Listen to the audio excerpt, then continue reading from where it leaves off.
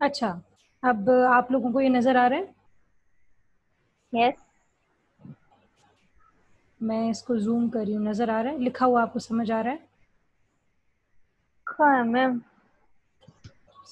You are sharing मेरी screen नहीं नज़र आ रही है आपको? स्क्रीन नज़र आ रही है उस पर फ़ाइल है और कुछ नहीं है। ये जो लिखा हुआ mechanization of agriculture in Pakistan ये नहीं नज़र आ रहा? नहीं ना। अच्छा एक सेकेंड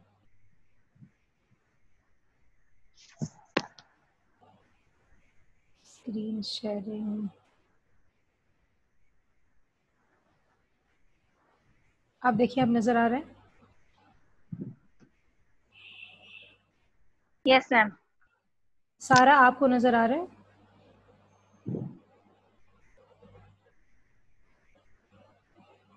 सारा? सारा नहीं बोल रही क्यों अच्छा चलिए ठीक है हम स्टार्ट करते हैं। ठीक? तो आज का जो Yes, हमारा टॉपिक है वो है mechanization of agriculture in Pakistan mechanization का क्या मतलब है? सिंपली इसका मतलब ये है कि जब आप एग्रीकल्चर सेक्टर में मशीनों का इस्तेमाल करते हैं तो आप कहते हैं उसको मैकेनाइजेशन ठीक है? और क्योंकि पाकिस्तान की बात हो रही है तो पहले हम थोड़ा जनरल पढ़ेंगे और फिर हम इसके बाद पाकिस्तान की तरफ़ मूव करेंगे। What is farm mechanization? Farm mechanization is one of the packages of green revolution technology. जो ग्रीन रेवोल्यूशन टेक्नोलॉजी में हमने पैकेजेस सुने थे जिसके अंदर क्या था? सीड्स थे ठीक है ना?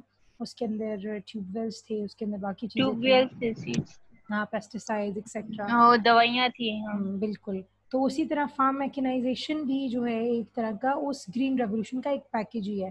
Farm mechanization implies the use of mechanical technology in varied farming operations like sowing sowing कहते हैं बीज बोने को हार्वेस्टिंग कहते हैं कटाई को, मैंने साइड पे लिखा हुआ है, जब आपकी फ़सल बन जाती है, उसके बाद आप उसकी कटिंग करते हैं। थ्रेशिंग थ्रेशिंग आपको पता है, वो जो ज़ोर ज़ोर से ज़मीन पे मारते हैं ताकि इसकी बीज अलग हो जाए ना। सही है, उसको बीटिंग इट लेवलिंग लेवलिंग का भी आपको पता है कि ज़मीन अगर ऊपर नीचे होती है तो उसमें हार्वेस्टिंग नहीं हो सकती तो आप उसको क्या करते हैं, उसको पहले लेवल करते हैं बुलडोज़र वगैरह से। Watering spraying and weeding weeding क्या होती है कि अगर आपकी फ़सल में कोई ऐसी चीज़ें उग आई हैं ऐसे अनवांटेड प्लांट्स उगाए हैं जो कि आपको नहीं चाहिए तो आप उसको जब खींच के निकालते हैं तो उसको वीडिंग कहा जाता है ठीक है? Etcetera these are farm mechanical technology farm mechanical technologies would include chemical technology chemical technology क्या होगी? वो तमाम चीज़ें जिसमें आप केमिकल्स यूज़ करेंगे ठीक है ना? एग्रीकल्चर में जिस तरह के प्लांट प्रोटेक्शन मैयर्स जिस जैसे कि स्प्रे हो गया और डिफरेंट किस्म के पेस्टिसाइड्स हो गए ये सारे क्या है? केमिकल टेक्नोलॉजी हैं ठीक है? उसके बाद है हाइड्रोलॉजिकल टेक्नोलॉजी हाइड्रोलॉजिकल टेक्नोलॉजी क्या है? Hydra hydra comes from water ठीक है? तो hydrological technology is about tube wells and stuff फिर आ जाती है मैकेनिकल टेक्नोलॉजी मैकेनिकल का मतलब होता है हरकत सही है? Mechanical technology would include tractors threshers bulldozers? Sorry ये सारा की आवाज़ हो गया हो गया। हाँ आप लोग आप लोग अपनी आवाज़ को बंद करें ताकि आप लोग अपनी आवाज़ बंद करें ताकि मैं मेरा ये वो फ्लो ख़राब ना हो ठीक है? अगर कोई क्वेश्चन होगा तो you can raise your hands इसमें रेज योर हैंड का ऑप्शन मौजूद होता है और यू कैन सिंपली अनम्यूट अच्छा तो we'll come to the farm mechanization mechanization debate debate अब क्यों है? डिबेट किसको कहते हैं? जब दो पार्टीज़ का या दो लोगों का किसी चीज़ पे इख्तिलाफ होता है, एक की कोई एक राय होती है, दूसरे की कुछ और राय होती है, ठीक है? तो फार्म मैकेनाइजेशन डिबेट पाकिस्तान में भी रही कि क्या हमें अपने फार्म्स को मैकेनाइज करना चाहिए कि नहीं करना चाहिए? इसके फ़ायदे क्या हैं? इसके नुकसान क्या हैं? तो अभी हम ये three different four different question थे जो कि अंडर डिबेट थे। उसमें पहला ये था कि can we adopt mechanized farming on on large scale mechanized farming जो है, क्या वो हम लार्ज स्केल पे उसको अपना सकते हैं कि नहीं अपना सकते? क्योंकि आपको पता है कि यहाँ पे बहुत सारे ऐसे किसान हैं या ऐसे बहुत सारे फार्म्स हैं जो कि बहुत छोटे छोटे थे, ठीक है? तो अगर हम लार्ज स्केल पे ये फार्म्स को मैकेनाइज करना चाहते तो क्या हम कर सकते हैं या नहीं कर सकते? Then we had we had the question कि can we adopt the same mechanical technology that has, that is prac- that is being practised in advanced countries अब एडवांस कंट्रीज़ में जो मैकेनिकल टेक्नोलॉजी इस्तेमाल हो रही है, क्या वो पाकिस्तान में भी इस्तेमाल हो सकती है या नहीं हो सकती? फिर तीसरा क्वेश्चन था कि can we develop and adopt selective simple powered machines which suit our small scale farming तो क्या हम ऐसी सादा या ऐसी आसान और ऐसी जो बहुत एडवांस्ड मशीन्स ना हो, जो कि हमारे हमारे हालात के मुताबिक या हमारी जो स्मॉल स्केल फ़ार्मिंग है उसके मुताबिक हों या हमें सूट करते हो क्या हम उसको अडॉप्ट कर सकते हैं कि नहीं कर सकते? uh, ये क्वेश्चन था थर्ड और फिर फोर्थ क्वेश्चन क्या था? फोर्थ क्वेश्चन था कि can we all together do away with mechanical mechanized farming do away का मतलब होता है कैसे छुटकारा पा सकते हैं? क्या हम मैकेनिकल जो मैकेनाइज्ड फ़ार्मिंग है क्या हम इससे बिल्कुल छोड़ सकते हैं और क्या जो हमारी ट्रेडिशनल वेज ऑफ़ फ़ार्मिंग है, क्या हम उसी को फॉलो कर सकते हैं? तो ये डिफरेंट किस्म के क्वेश्चन थे जो कि अंडर डिबेट थे, इसके ऊपर किसी की क्या राय थी, किसी की क्या। तो हम आर्ग्यूमेंट्स देखते हैं डिफरेंट आर्ग्यूमेंट्स क्या थे, लोगों के क्या स्टांसेस थे या एक्सपर्ट्स का क्या स्टांस था। तो अगर हम देखा जाए कि फार्म मैकेनाइजेशन का सबसे पहला जो आर्ग्यूमेंट है वो क्या है? वो ये है कि it increases multiple cropping multiple cropping क्या होती है? मल्टीपल क्रॉपिंग वो तरीका है जिसमें एक ही ज़मीन के टुकड़े पे एक से ज़्यादा किस्म की फ़सलों को एक टाइम पे बोया जा सकता है, जो कि जो ट्रेडिशनल फ़ार्मिंग है उसमें ये तरीका मौजूद नहीं है, ठीक है? तो farm mechanization encourages multiple cropping which was not possible under traditional farming Second is reduces dependence upon animal power. Obviously, when you are moving away from the traditional methods of farming, जिसमें आप बैलगाड़ियों का इस्तेमाल करते थे और हाथ से काम करते थे और एनिमल्स आपके जो है वो आ, आ, क्या करते थे? हल चलाते थे। तो if you are doing away with that तो बहुत आसान है। आप उससे आपका उसे छुटकारा हासिल हो जाएगा। In farm mechanization would reduce dependence upon animal power which are clo costly and also slow in operation एक तो वो स्लो होते हैं एनिमल्स और दूसरा ये कि वो कॉस्टली होते हैं। उनका आ, उनका उनको रखना बड़ा मुश्किल होता है। आपको पता है उसको बीमार भी होते हैं उनको खाना भी चाहिए होता है। On the other hand machines do not need आपको पता है इस तरह से खाना या प्रॉपर इतनी ज़्यादा देखभाल। वो तो क्योंकि ज़िंदा चीज़ होती है ठीक है? फिर क्या diversion of land from growing fodder fodder, fodder क्या होता है? फॉडर चारे को कहते हैं, जो घास फूस होता है या डिफरेंट किस्म की ऐसी चीज़ें होती हैं ऐसी किस्म की चीज़ें उगाई जाती हैं, जो कि सिर्फ़ और सिर्फ़ माल मवेशियों को चारे के तौर पर दी जाती हैं। तो अगर आप माल मवेशियों को उनको ख़त्म कर रहे हैं अपने फार्म से तो ऑब्वियसली उनके लिए जो आपने ज़मीन बचाई है और जहाँ पे आप उनके लिए चारा उगाते हैं तो वो लैंड भी आप अब चारे से छुड़ा के उसको भी आप कल्टिवेशन में लगा सकते हैं so the farm mechanisation makes it possible to divert the land used for growing fodder for animal power. The same land can be brought under cultivation for growing food and non-food crops. Simple सी बात जिस पे आप चारा उगा रहे थे अब उस पर आप फूड या नॉन फूड क्रॉप्स उगा सकते हैं then we have number fourth which is greater area under cultivation वही तीसरी और चौथी वाली बात सेम ही है, एक तरह की farm mechanization saves labour it makes the job for levelling and preparation of land easy and helps in bringing more land under cultivation एक बहुत बड़ा काम जो है फ़ार्मिंग में वो क्या होता है क्या कि जो लेबर है, उसको जो लैंड है, उसको लेवल करना होता है और उसको लैंड को हार्वेस्टिंग के लिए या फ़सल के लिए तैयार करना होता है।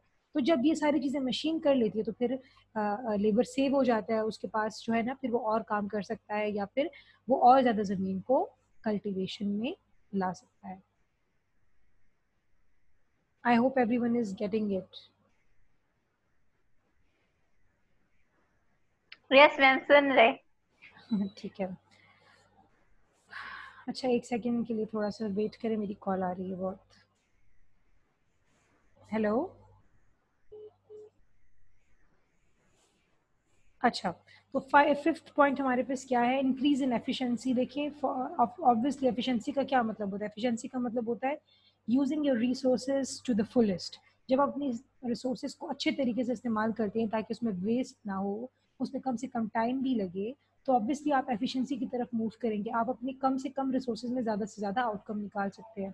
तो farm mechanization increase efficiency of farmers and raises the output per work ना सिर्फ़ ये फार्मर की एफिशिएंसी को बढ़ाता है। एफिशिएंसी बढ़ाने का क्या मतलब हो कि वही फार्मर जो पहले 10 टन फॉर एग्जांपल गंदम उगा रहा था, वो बारह टन उगा रहा है क्योंकि उसके पास टाइम भी ज़्यादा है वो कम मेहनत भी कर रहा है। तो इस तरह आउटपुट आउटपुट पर वर्कर ज़्यादा हो रहा है, ठीक है? Efficiency is actually output per worker her worker पहले जितना कर रहा था और अब जितना कर रहा है, उसमें जो इंक्रीज आया that is increase in efficiency then timely water supply spray etcetera obviously the timely या फिर टाइम पे, या जिस वक्त उसको दरकार होता है the timely availability of water supply from tube wells the use of of modern inputs has been made possible only with the help of mechanization जिस टाइम आपको पानी चाहिए होता है आपकी फ़सल को तो आप सिर्फ़ बारिश पे रिलाय नहीं करेंगे, बजाय उसके आप ट्यूबवेल से पानी जब भी आपको चाहिए होगा, आप उसको इस्तेमाल करके अपनी फ़सलों को सैराब कर देंगे, ठीक है? तो इस तरह क्या होगा, आपकी एफिशिएंसी ज़्यादा हो जाएगी। The use of modern inputs increase increases the yield of crops obviously जब आप पानी देंगे टाइम पे, वगैरह वगैरह, सारा कुछ टाइम पे होगा तो क्या होगी, आपकी यील्ड इंक्रीज होगी। Then we'll come to the point number seven that is reduction of cost cost कैसे? अच्छा। यस सिकरा बताएँ। मैम, वो सारा कह रही है तो उसका जूम कनेक्ट नहीं हो रहा। अच्छा ज़ारा को कहें कि आप फ़िक्र मत करें। ये मैं यूट्यूब पे डाल दूँगी सही है? तो कोई इशू नहीं होगा। ओके मैम चलिए हम वापस आते हैं।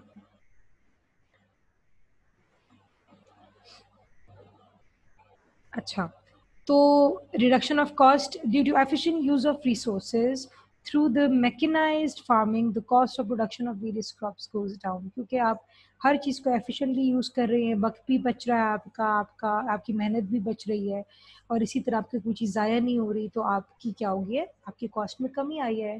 पहले से ज़्यादा कम कॉस्ट पे अब आप वही प्रोडक्शन करें वही आउटपुट आप कम कॉस्ट पे दे रहे हैं।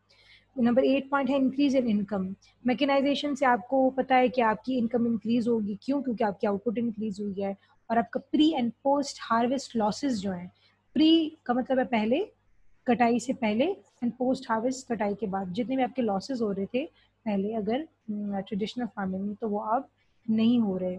ठीक हो गया? प्रोवाइड्स ऑफ़ फार्म एम्पावरमेंट ये सिर्फ़ फार्म पे ही नहीं, बल्कि ऑफ़ द फार्म मतलब फार्म से बाहर भी आपको एम्प्लॉयमेंट प्रोवाइड करती है, क्योंकि फॉर एग्जांपल पॉपुलेशन जो है आपकी गाँव में, वो किसी न किसी और तरीके से एम्प्लॉयमेंट के साथ जुड़ जाती है। फॉर एग्जांपल अगर ज़्यादा चीज़ बन गई है, या ज़्यादा चीज़ हार्वेस्टिंग के बाद ज़्यादा गंदम आई है तो वो एक जगह से दूसरी जगह पहुँचाना या उसको बाज़ार में लेके जाके बेचना एक्सेट्रा एक्सेट्रा या जो गाँव में मौजूद जो ट्रैक्टर को सही करने वाले मैकेनिक्स हैं, उनकी भी रोज़ी रोटी लग जाती है तो इस तरह it it does not only provides you employment on the farm but off the farm as well then we have self sufficiency in food क्योंकि जब आपकी फार्म मेकिनाइजेशन होती है तो आप अच्छा अच्छा ज़्यादा ज़्यादा एफिशिएंटली प्रोड्यूस कर रहे होते हैं तो आप फिर फ़ूड में सेल्फ सफिशेंट हो जाते हैं फिर आपको फ़ूड मटीरियल्स को एटलीस्ट इंपोर्ट करने की ज़रूरत नहीं पड़ती। हालाँकि इस तरह होता है कि आपके पास सरप्लस होता है और आप उसको एक्सपोर्ट भी कर सकते हैं। अच्छा ये सारे आर्ग्यूमेंट्स तो थे in favour of farm mechanisation के फार्म मेकनाइजेशन क्यों अच्छी है या क्यों ज़रूरी है या इससे क्या क्या फ़ायदे होते हैं? अब अगर हम आते हैं कि the arguments which are against mechanization तो अगर हम उसको देखें हम्म, तो वो क्या है? नंबर वन क्या है? इंक्रीज इन अनएम्प्लॉयमेंट अब देखिए अनएम्प्लॉयमेंट इसके साथ कैसे होती है? अनएम्प्लॉयमेंट ऐसी होती है कि जब मशीन्स आकर किसान की जगह ले लेती हैं और एनिमल्स की जगह ले लेती हैं तो एनिमल्स को पालने वालों का भी रोज़गार ख़त्म हो गया। और अगर पहले एक खेत के ऊपर बीस लोग काम कर रहे थे तो अब एक खेत के ऊपर एक बंदा काम कर रहा है। वो जो उन्नीस लोग हैं, वो अनएम्प्लॉयड हो गए, ठीक है? तो इसको क्या कहते हैं? इसकी वजह से क्या होता है? इंक्रीज इन अनएम्प्लॉयमेंट होता है, जिसको मैं आप लोगों को पहले भी समझा चुकी हूँ कि वो क्रिएटिव uh, डिस्ट्रक्शन का जो फिनोमिना होता है कि जब कोई नई चीज़ आती है तो पुरानी चीज़ें पुरानी जॉब्स जो हैं वो ख़त्म हो जाती हैं। ठीक है? जिस तरह अभी जब हमारा बीआरटी बन जाएगा तो जो पुरानी बसेस थी या जो हमारे पास वैगन्स थी उनका काम ख़त्म हो जाएगा। तो एक तरह से तो वो अनएम्प्लॉयड हो गई लेकिन ओवरऑल जो है लोगों की लिविंग uh, स्टैंडर्ड में क्या हो गया है? uh, बेहतरी आई है। अब वो वैगनों के बजाय बीआरटी की जो मॉडर्न बसेज हैं उसमें सफ़र करेंगे। सेकेंड क्या प्रॉब्लम्स ऑफ़ अर्बनाइजेशन अच्छा अर्बनाइजेशन किस तरह से इस, इसकी वजह से हिट होती है या इसकी वजह से कैसे एम्पलीफाई होती है वो इस तरह से होती है कि जब बहुत सारे लोग अनएम्प्लॉयड हो जाते हैं बहुत सारे लेबर अनएम्प्लॉयड हो जाता है उसके पास कोई काम नहीं रहता गाँव में तो फिर वो शहरों की तरफ़ माइग्रेट करते हैं। तो the migration of labour from the mechanized farm sectors to the cities creates problem of urbanization urbanization किसको कहते हैं? अर्बनाइजेशन इसी इसी को कहते हैं कि अनप्लान किस्म की जो है ना, आपकी आबादियाँ शुरू हो जाती हैं। प्लानिंग नहीं हुई होती और कोई भी कहीं पे भी घर बना रहा है, कोई भी कहीं पे भी बाज़ार लगा रहा है तो जिस तरह अब आप पिशावर को देखिए पुरानी किसी भी शहर को देखिए तो उसमें वो डिसिप्लिन नहीं है। अगर आप इसके अगेंस्ट अगर आप इस्लामाबाद को देखिए तो वो बड़ी डिसिप्लिन और वो बड़ी प्लान सिटी है तो हर चीज़ की अपनी जगह है और बहुत अच्छे तरीके से खुले खुली सड़कें भी बनी है। लेकिन आप पेशावर में देखें किसी और अनप्लान सिटी में देखें, जहाँ अर्बनाइजेशन हुई है, जहाँ गाँव, जहाँ पे गाँव से लोग आते हैं तो वहाँ पे फिर बहुत सारी इश्यूज़ होते हैं। फिर हमारा क्या है? सोशल डिस्पैरिटी सोशल डिस्पैरिटी कैसे आती है? मतलब सोसाइटी के अंदर डिस्पैरिटी या फ़र्क या एक को एक को फ़ायदा, दूसरे को नुकसान, वो कैसे होता है? Farm mechanization is basically capital intensive capital intensive का मतलब है वो वो काम जिसके अंदर कैपिटल ज़्यादा लगता है। फॉर एग्ज़ाम्पल जब आप इंडस्ट्री लगाते हैं तो उसमें लेबर कम चाहिए होता है, उसमें मशीनरी ज़्यादा चाहिए होती है, और मशीनरी को ख़रीदने के लिए पैसे चाहिए होते हैं कैपिटल चाहिए होता है। तो हम इंडस्ट्री को हम कैपिटल इंटेंसिव कहते हैं, और अगर एग्रीकल्चर को देखें तो वहाँ पे ज़्यादा लेबर इंटेंसिव होता है, वहाँ पे ज़्यादा काम लेबर का होता है। तो जब आप, आपका जो फार्म है, जो आपका जो आपका खेत है या आपका जो एग्रीकल्चर है, वो भी कैपिटल इंटेंसिव हो जाए, क्योंकि वहाँ पर भी जितनी भी मशीनें काम कर रही हैं, वो सब पैसों से आती हैं और लेबर कम चाहिए और मशीन और कैपिटल ज़्यादा चाहिए तो क्या होगा? It will create it has a big farmer bias farmer bias क्यों? कुछ फार्मर अमीर होंगे, कुछ फार्मर गरीब होंगे। जो फार्मर्स अमीर होंगे they will be able to adopt new technologies easily because they will have capital and the ones who do not have capital उनको मुश्किल का सामना होगा और वो क्या हो जाएँगे? इन दोनों में फ़र्क हो जाएगा। तो सिर्फ़ वो लोग जो कि कैपिटल अफोर्ड कर सकते हैं तो वो ही कैपिटल इंटेंसिव मैकेनाइज्ड फ़ार्मिंग की तरफ़ मूव कर सकते हैं। um, अच्छा फिर आ जाता है diversion of capital diversion of capital क्या होता है? Farm mechanization diverts capital from non agriculture sector to agriculture there there is already abundant labour and and farming operation are labour intensive यहाँ पे ये भी होता है कि जो जो कैपिटल पहले आपके उसमें लगना था, आपके नॉन एग्रीकल्चर सेक्टर में फॉर एग्जांपल इंडस्ट्री में लगना था, या आपकी किसी इंटरटेनमेंट इंडस्ट्री में लगना था, या किसी और चीज़ में लगना था, ठीक है? वो अब लोग क्या कर देंगे? डाइवर्ट कर देंगे फार्म्स की तरफ़ या एग्रीकल्चर की तरफ़। तो एक तरीके से क्या हो जाएगा? एक तो यहाँ पे लेबर भी ऑलरेडी इंटेंसिव है, क्योंकि लेबर इंटेंसिव का मैंने आपको मतलब बता दिया ना, वो लेबर इंटेंसिव का मतलब है ऐसा काम जिसमें लेबर ज़्यादा लगता है, ठीक है? तो फार्म्स तो ऑलरेडी लेबर इंटेंसिव और इसमें आप कैपिटल भी और डाल रहे हैं तो आप actually you are diverting capital away from the non agricultural sectors to the agriculture sectors तो ये इसके कुछ आर्ग्यूमेंट्स हैं जो कि इसके खिलाफ हैं। ठीक है, अब अब आगे हम इसके, उसकी तरफ़ आते हैं ना मतलब what we have what result we have come up to और वट वट um, uh, क्या बोलते हैं conclusion we have come up to तो there is an unanimity of opinion that mechanical technology along with other inputs increases agriculture productivity इस पर तो कोई दो राय नहीं है, इस पर मुकम्मल इतफाक़ है कि अगर आप मैकेनिकल टेक्नोलॉजी को अडॉप्ट करते हैं फ़ार्मिंग में तो आपको क्या होता है एग्रीकल्चरल प्रोडक्टिविटी आपकी इंक्रीज होती है। But the difference is however on the type of mechanical technology to be adopted लेकिन जो इख्तलाफ है या कहा जा सकता है, जिस जिस बात जिस बात के ऊपर डिबेट है, वो ये है कि किस किस्म की टेक्नोलॉजी को हम अडॉप्ट करें या कौन सी किस्म की टेक्नोलॉजी हमें अडॉप्ट करनी चाहिए। तो in advanced countries of the world the concentration of large scale mechanized farming has maximized output per hectare and per worker.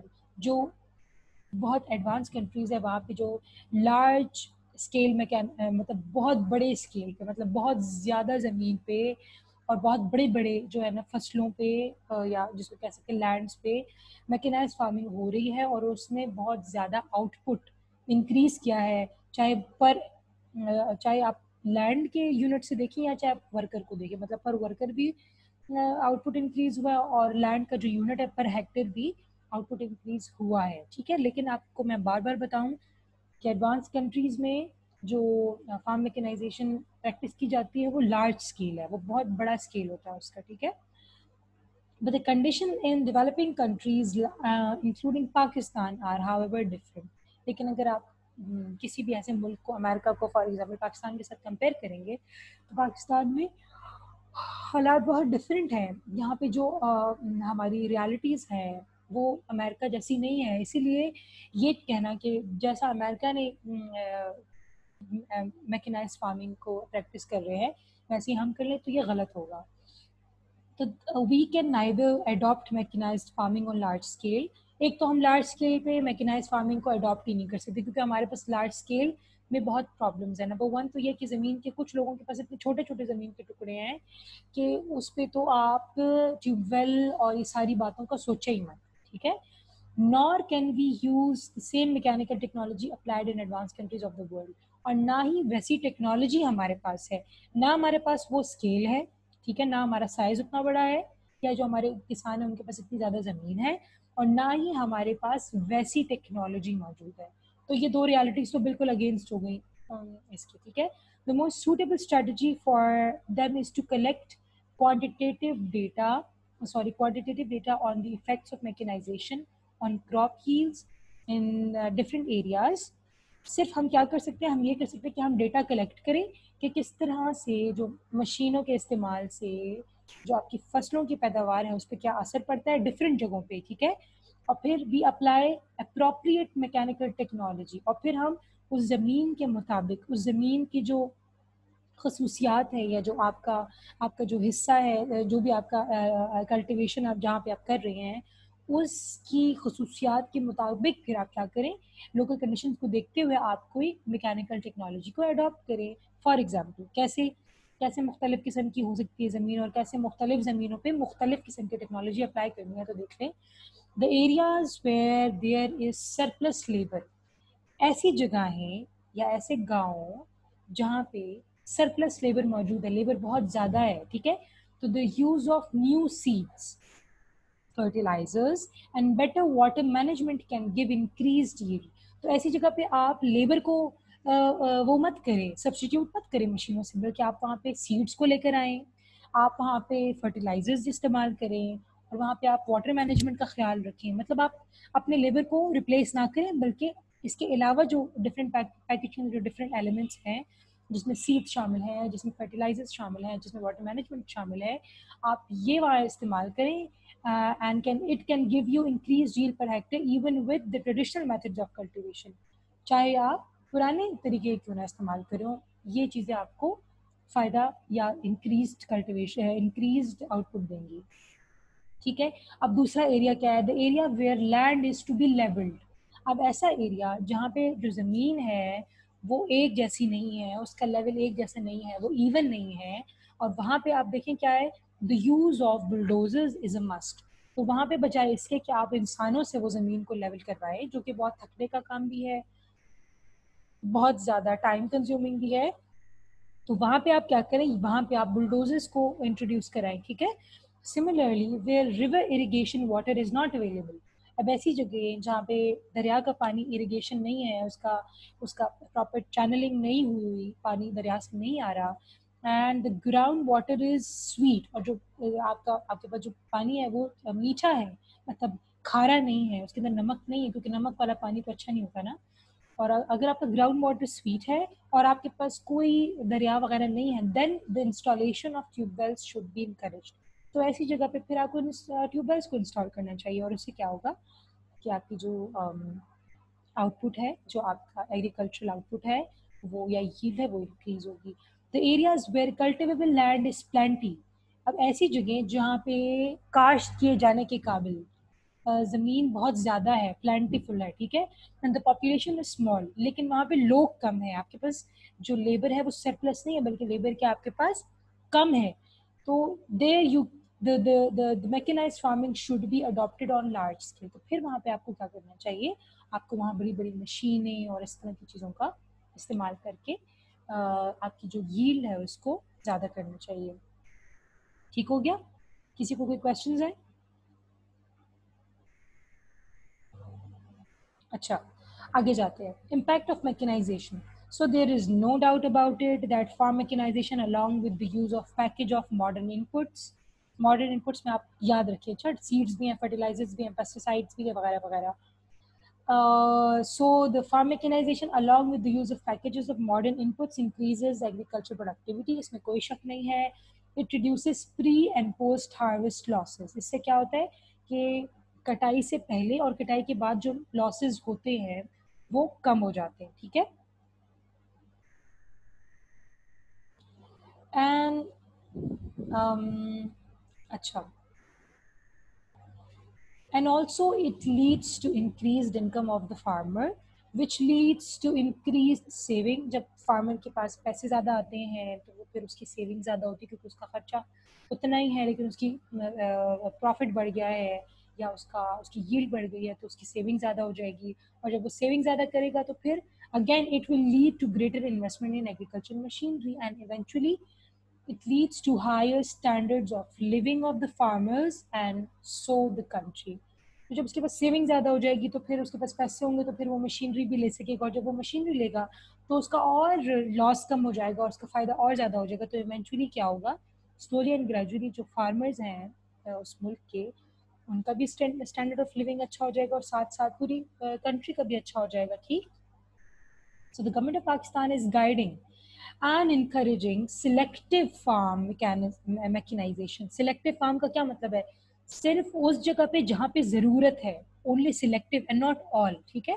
जिस तरह भी हमने पीछे देखा कि ओनली आप अपनी रियलिटीज को देखें, आप अपनी सिचुएशन को देखें, आप अपनी लैंड की हालत को देखें, उधर के लोगों को देखें, उसके बाद आप कोई एक स्ट्रेटजी वहाँ पर अपनाएँ। So the government of Pakistan is guiding and encouraging selective farm mechanization in the country spray machines are applied to spray the standing card and the crops जो आपकी क्रॉप्स खड़ी हो जाती हैं मतलब उग आती हैं तो उसके बाद स्प्रे किया जाता है उसके ऊपर। इसके अलावा manual harvesting of feed harvesting क्या होता है? काटने को कहते हैं। मैनुअल का मतलब है हाथ से जो किया जाए, ठीक है?